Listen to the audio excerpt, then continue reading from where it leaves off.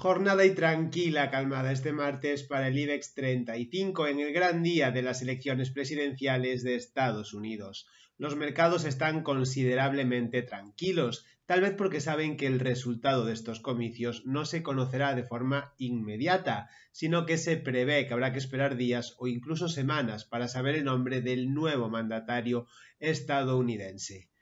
Con las elecciones de Estados Unidos centrando toda la atención, los inversores también siguen otros eventos este martes. A primera hora se conoció que el Banco de la Reserva de Australia ha cumplido con lo previsto y ha mantenido los tipos sin cambios en el 4,35%.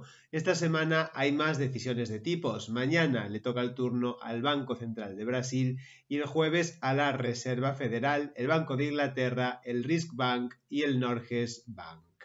Además de esto, China ha publicado hoy el PMI Servicios Caixin de octubre, que ha subido hasta los 52 puntos desde los 50,3 y ha mejorado también la previsión de consenso.